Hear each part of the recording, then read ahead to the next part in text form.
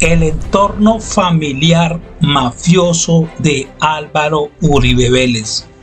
Este análisis genealógico nos puede dar una idea más clara de cómo el entorno familiar mafioso de Álvaro Uribe Vélez ha logrado escalar a través del tiempo las altas esferas de la sociedad colombiana.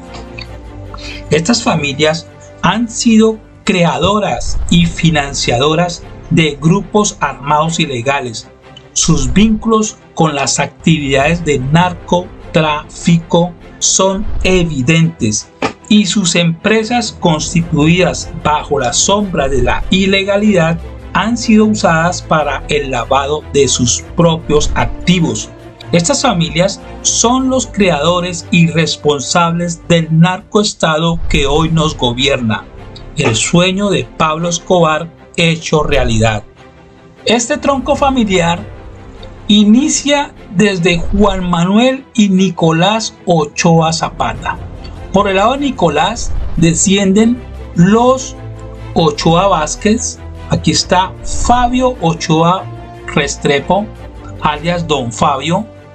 Y de ahí descienden, repito, los Ochoa Vázquez. También descienden los Vélez Ochoa, primos hermanos de los Uribe Vélez. También desciende Laura Vélez Uribe, la mamá de Álvaro Uribe Vélez y sus hermanos Santiago y Alberto. Por el lado de Juan Manuel Ochoa Zapata descienden Pablo Escobar Gaviria, José Obdulo Gaviria, Carlos Mario Alzate Urquijo alias El Arete y Gustavo de Jesús Gaviria Rivera, el banquero del cartel de Medellín. También desciende Alberto Uribe Sierra. Aquí vemos por el lado de Miguel viene Rafael, viene Alberto Uribe Sierra. Y también descienden los Londoño White. Se habla muy poco de estos narcos, pero estos señores hacían parte también del cartel de Medellín. Esta foto es de 1985, fue tomada en el remate de la Loma, repito, en 1985. ¿Qué hace Santiago Uribe al lado de estos personajes que ya vamos a ver quiénes son?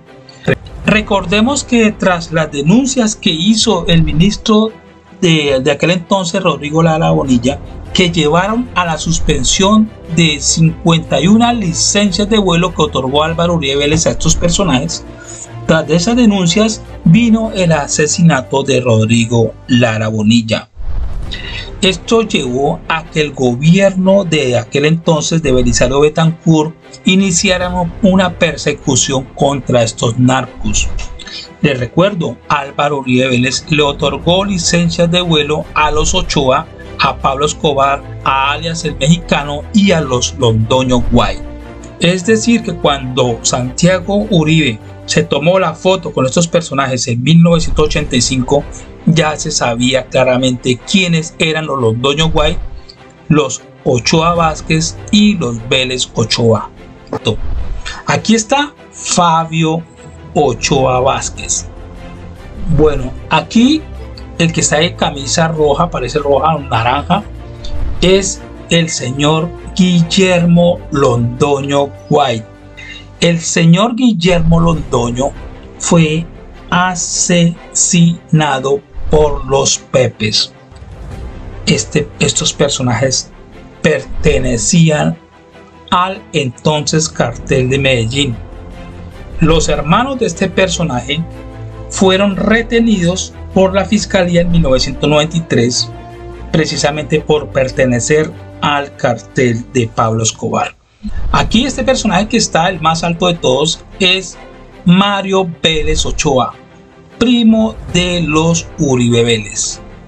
Bueno amigos, resulta que los primo hermanos de los Uribe crearon un grupo armado ilegal llamado la Banda de los R's llegó a tener 150 miembros armados que se distinguían por el número consecutivo de los radios intercomunicadores que poseía cada uno de ellos.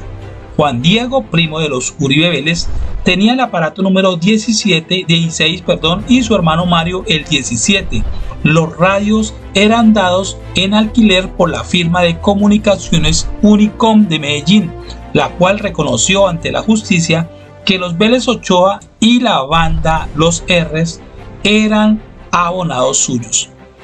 Bueno amigos, vale la pena hablar de Mario Uribe, primo de Álvaro Uribe Vélez. Este señor creó la banda Las Escopetas. Esta banda, esta banda mutó posteriormente al bloque suroeste de Medellín. Vale la pena recordar también que el cartel de Medellín creó el grupo armado ilegal El MAS. Recordemos también que Santiago Uribe creó la banda Los Doce Apóstoles, que operó desde la finca La Carolina en el municipio de Yarumal. Y Álvaro Uribe junto con Santiago Uribe crearon el bloque Metro. Recordemos que esta banda operó desde la finca Las Guacharacas, también propiedad de los hermanos Uribe Vélez. Entonces es muy fácil deducir quiénes fueron los que realmente crearon este experimento para. ¿Qué hizo Álvaro Uribe Vélez cuando llegó a la gobernación de Antioquia? Pues legalizar todas estas bandas, todos estos grupos armados ilegales, los legalizó con la figura de las convivir. Recordemos que Álvaro Uribe Vélez cuando fue director de la aeronáutica civil le otorgó licencias de vuelo a estos personajes, a los Londoño White.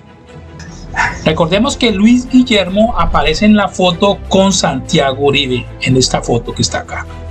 El de camisa roja, recordemos eso. Entonces, este personaje también hace parte, tiene parentesco con todas esas familias, hacen parte de esa familia.